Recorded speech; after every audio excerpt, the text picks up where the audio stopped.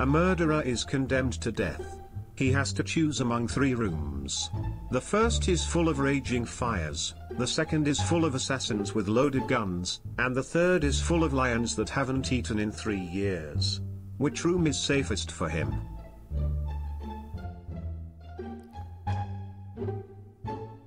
Surely none. They all sound like death sentences. No matter what, no matter what room you go into, you're surely done.